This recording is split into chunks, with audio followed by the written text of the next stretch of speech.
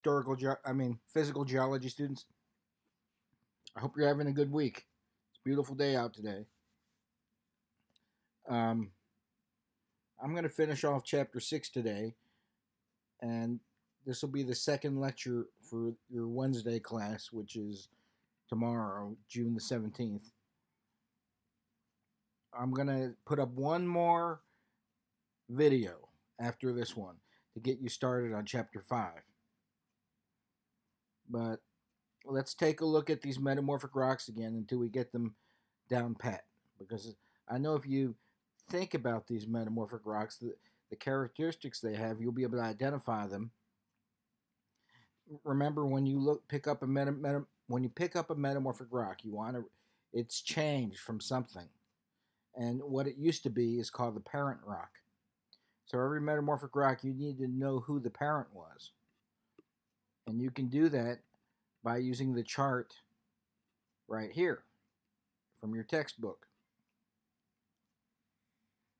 You should also know that every metamorphic rock is has one of two textures, foliated or non-foliated.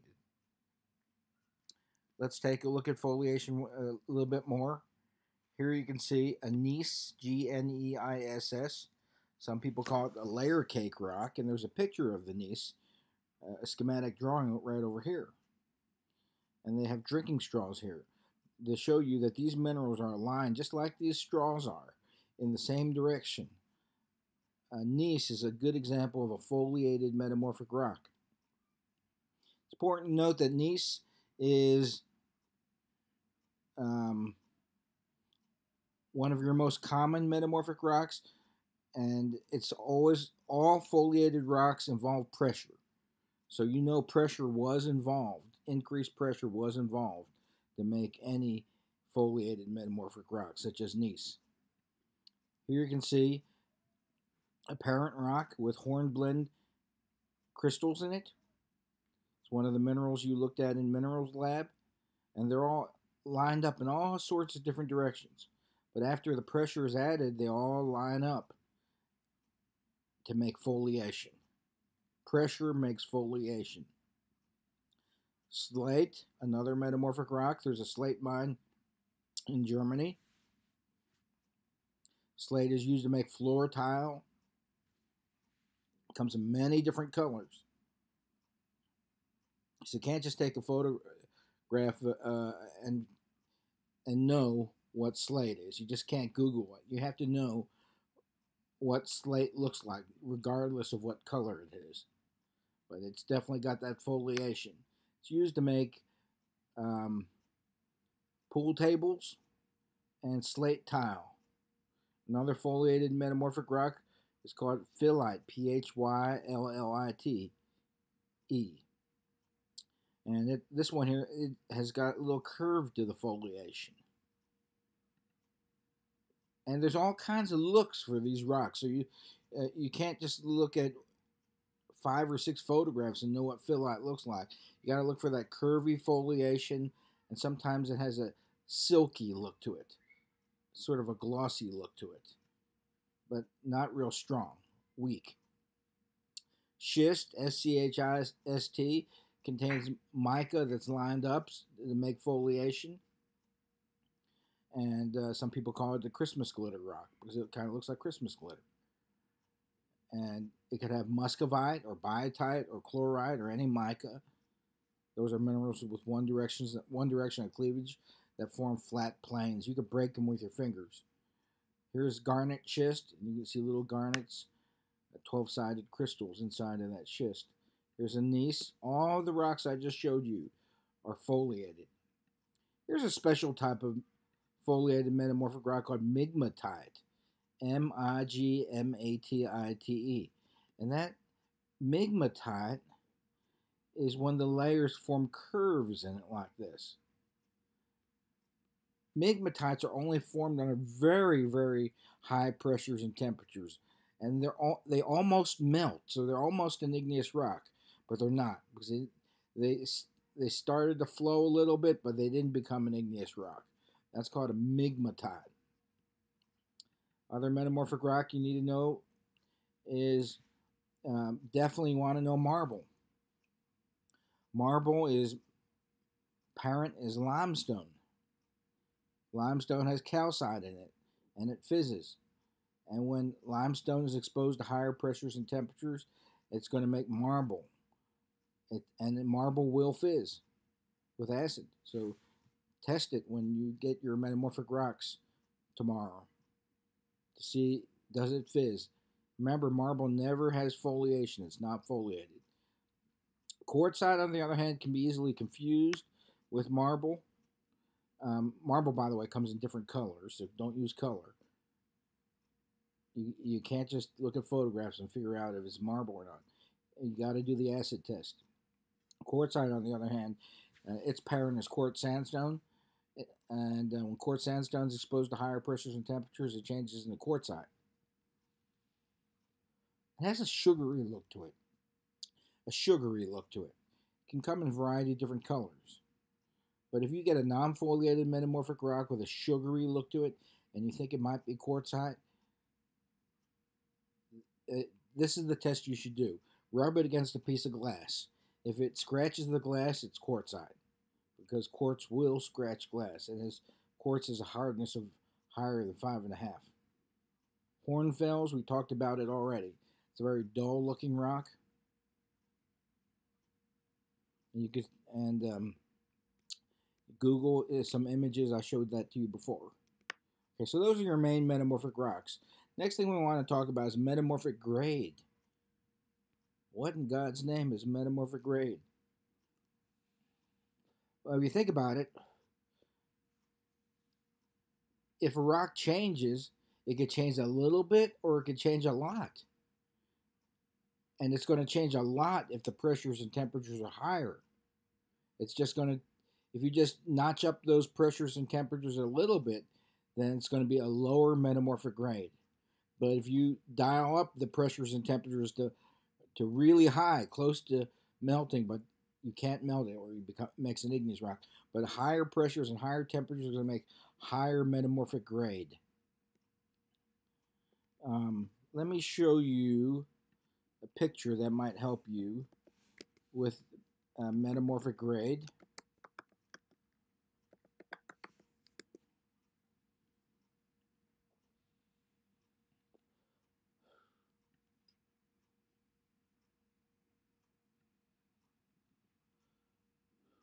Okay. So let's take a look at metamorphic grade for a moment here. Here's a nice picture.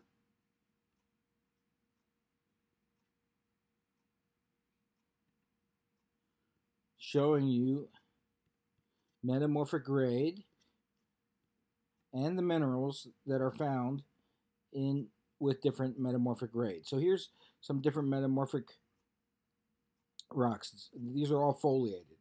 Let's say the parent is shale. If you notch up the pressure and temperature a little bit, you make a low grade rock called slate. If you increase pressure and temperature even more, the grade goes a little bit more up to make phyllite. If you increase pressure and temperature even more, you get schist, which is an intermediate grade. And if you increase the pressure and temperatures a lot, it makes gneiss, which is a high grade metamorphic rock. So high grade gneiss of the foliated metamorphic rocks, gneiss is of the highest grade, and there's one even higher than that. It's called migmatite. Schist is of intermediate grade. Slate is of the lowest grade, and phyllite is kind of in between low and intermediate grade. So how can you tell, as a geologist, what the metamorphic grade is? Well, you use index minerals. Index minerals. You want to find this diagram, by the way, um, just type in metamorphic grade under Google Images and you'll find it. Uh, chlorite is only formed under relatively low pressures and temperatures, or temperatures maybe only go up to 100 to 200 degrees Celsius, for example. And it's found, so it's, uh, if you find this, that's an indicator of low metamorphic grade. Sillimanite is found with uh, only a much higher pressures and temperatures. We're talking 400 to 600 degrees Celsius. and 5 to 10 megapascals, very high pressures and temperatures. And so sillimanite is a high grade metamorphic rock. Garnet is found from medium to high grade. You can see muscovite is found from low to intermediate grade. These are the pressure. So these, um, if you increase the pressure and temperature more, you get higher grade, and you look for the higher grade metamorphic minerals. If you increase the pressures and temperatures low, you get the lower grade metamorphic minerals. Another way to look at it is through this diagram here. Oh, but I met one of you um, when you came to my house. Uh, young lady who uh, told me she has some kyanite. Um, kyanite, sillimanite, and andalusite are index minerals found in metamorphic rocks. So that mineral that you were talking about that you found is of um, is formed when you increase pressure a lot in in in a metamorphic rock, but temperature doesn't go up as much. Look here on the x-axis how you go from about 180 degrees Celsius up to 1000 degrees Celsius and you go from 0 degree uh, 0 kilobars to 10 kilobars. So as you here's your diagram here. This is called a phase diagram and it shows you these three index minerals, kyanite, sillimanite, and andalusite. As you go on the x-axis from left to right, temperature increases. And as you go on the y-axis from uh, uh as you go up, pressure increases, right? So think about it. This diagram is really useful as for a geologist because when you go deeper in the earth, pressures and temperatures increase, don't they? Therefore, as you go this from here to here, from here to here, you're going deeper underground, aren't you? As you go from here to here, you're going deeper underground to higher pressures and temperatures. Another way of putting it is, as you go from here to here, grade increases, metamorphic grade increases. So, um, if you find sillimanite in a metamorphic rock, you're dealing with a high grade metamorphic rock, aren't you? If you find kyanite in there, it's a lower grade metamorphic rock. This is called a phase diagram. If you find andalusite in the rock, then press, the pressures added to the parent rock were not that great. This is a phase diagram, and the way these are constructed is uh, you, you take a device called an autoclave, and you put um, minerals under high pressures and temperatures, and you see which ones are stable.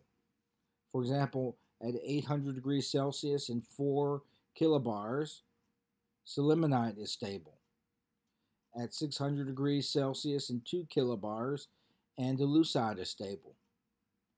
Under 400 degrees C and 4 kilobars, what's stable? Kyanite stable. And so they just uh, keep dialing up the pressure and temperature, and they open up the pressure the pressure vessel inside of the autoclave, which is a device that you can increase in pressure pressure and temperature on your sample, and you see which ones are stable. What do you think is going to be stable right on that line here at about 600 degrees Celsius and 2.7 kilobars? Right on that line, andalusite and sillimanite are stable. At 600 degrees Celsius and 6 kilobars on this line, what's going to be stable here on that right on that line? Kyanite and sillimanite. How about right here at 380 degrees Celsius and 2 kilobars? What index minerals are going to be stable here? Andalusite and kyanite. What about right here where these three lines meet? Which index minerals are going to be stable? All three. This is called, ladies and gentlemen, the triple point. Once you find the triple point through your autoclave experiments, you've hit the jackpot because then you can construct this phase diagram. So this shows you metamorphic index minerals.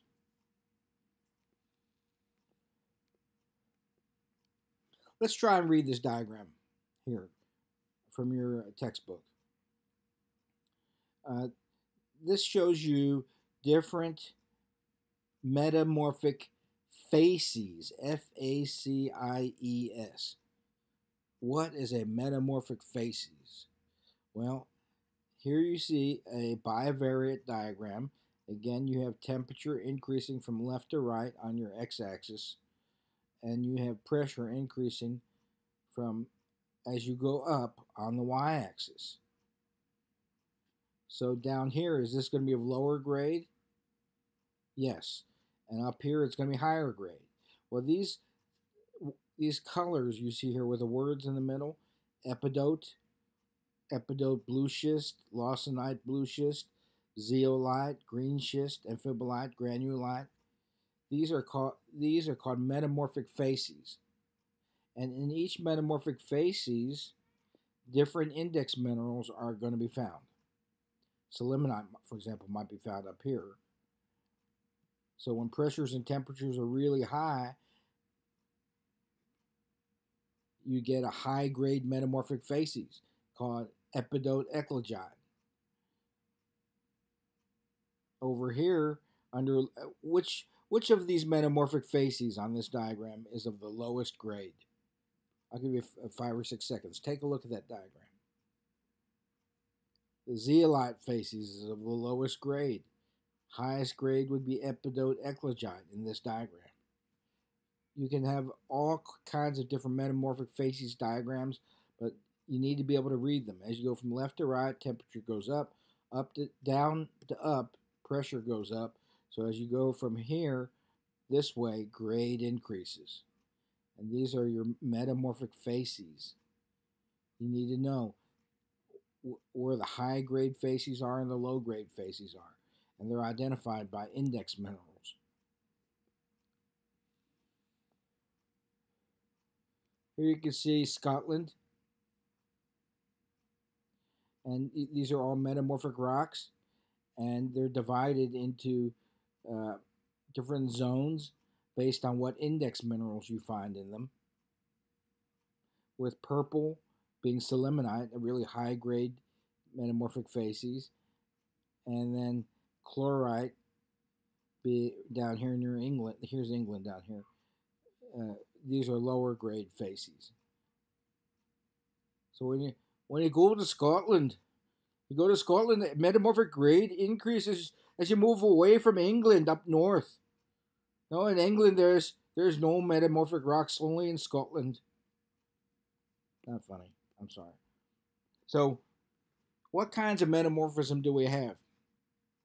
Well, metamorphism involves an increase in pressure, an increase in temperature, and or the presence of chemically, chemically active fluids. One way you can uh, make metamorphic rocks is through burial metamorphism. If you bury rocks, so sedimentary rocks are deposited layer after layer after layer. The older layers are going to end up down here, right? And they're going to be buried, and there's going to be pressure put on them from above. That's called burial metamorphism.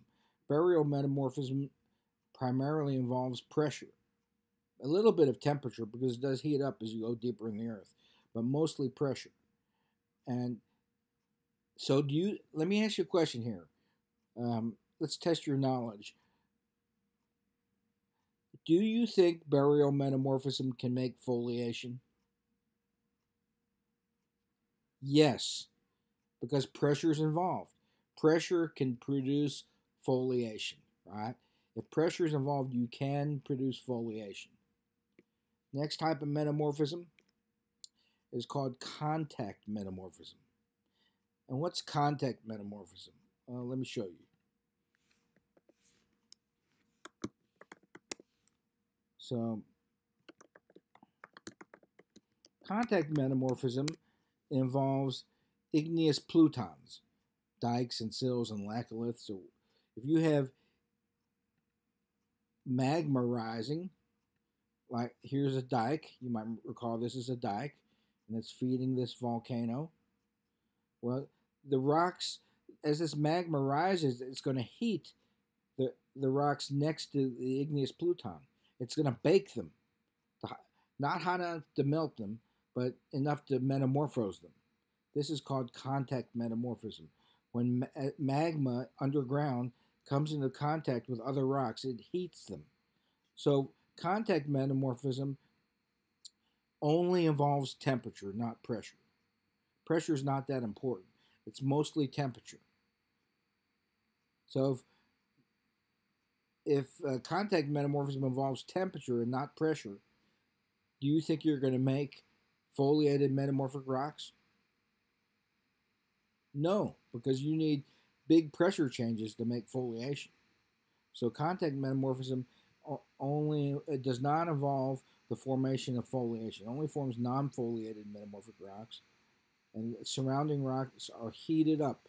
So contact metamorphism involves almost only temperature, and it's local. It's only around the igneous plutons, around the magma bodies underground, where you form this metamorphism.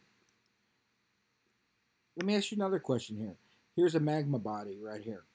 So the rock here near the magma body is going to be heated more because it's right next to the magma body. As you go away from the magma body, the, temperature increase is going to be less. So, do you think metamorphic grade would increase or decrease as you go away from the magma body? it would decrease, right? Because these rocks right next to the magma body are going to be heated to higher temperatures than those um, farther away from the igneous pluton.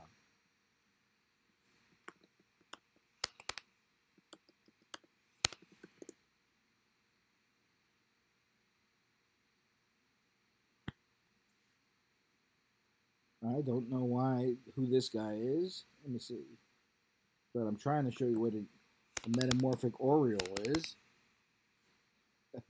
Who this guy is, I have no idea.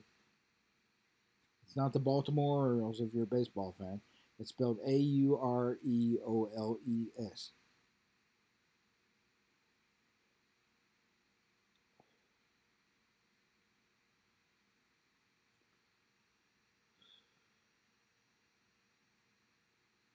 God, it's slow. Okay. So what aureoles are are okay. Imagine here's a here's a, what we call a, a geologic map, and here you can see an igneous rock body, and you're looking from above. So this you're looking down from an airplane, and you see these this igneous rock here. Here's a scale going from zero to three miles. So from here, walking from here to here is about three miles.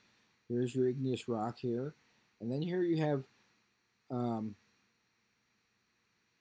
a high grade metamorphic rock zone around the igneous intrusion. And then you have a lower grade zone. These are these zones are called aureoles. So orioles are these um, zones where you find metamorphic rocks of different grade as you go away from the igneous pluton. This is one of the first things that you map in geology in your junior year of college if you're a uh, geology student. And hornfels is a very common rock formed by contact metamorphism. Yeah, hornfels is formed by contact metamorphism. So we've talked about two kinds of metamorphism so far burial metamorphism, contact metamorphism. Next one's the most important one called regional metamorphism. Now, regional metamorphism, ladies and gentlemen, occurs at subduction zones. Regional meta- metamorphism is, as the name implies, it's regional. It can go for thousands of miles. We have regional metamorphism affected all of eastern California, for example. Regional metamorphism involves increases in pressure and temperature. So, do you think that foliated metamorphic rocks would be formed at places of regional metamorphism? Yes, because pressure is involved. Once more, reg- regional metamorphism occurs due to subduction and involves pressure and temperature. Let me show you real quick here.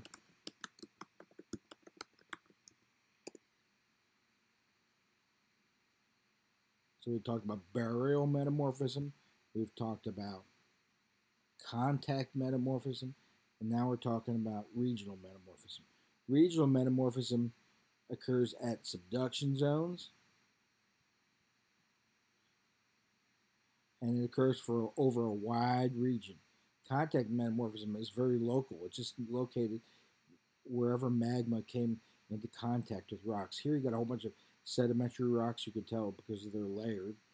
These rocks here, right next to the dike, have undergone contact metamorphism. And you can separate the contact metamorphism into aureoles, from low grade, farther away from the intrusion, to high grade, right next to the intrusion. Regional is re, uh, okay involves subduction. So subduction involves is regional metamorphism. Faults. What are faults? Well, faults are places in the earth where there's a crack in the ground.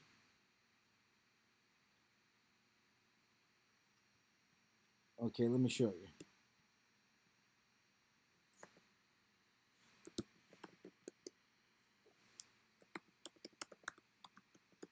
We'll be talking a lot about faults when we get to earthquakes because the movement of faults makes earthquakes.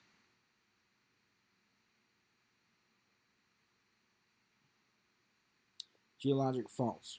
I'm sure you've heard something about uh, faults. So here you can see this is a fault in the earth. Right here, the earth has moved. Look at this sedimentary layer here. It's the same as this one here. These arrows show you that this, on this side of the fault, the rocks have moved up, and this side they've moved down. Whenever there's movement along a fault, you make an earthquake. Here you can see a, whole bunch of faults where this person is. Here's a fault right here and a fault right here. This black rock here is maybe coal. It's the same as this black rock here. So this side moved up and this side moved down. Over here you can see this bed here is the same as this bed here. So this bed here moved down with respect to this bed here. Somebody's knocking on my door. I'm going to have to stop here.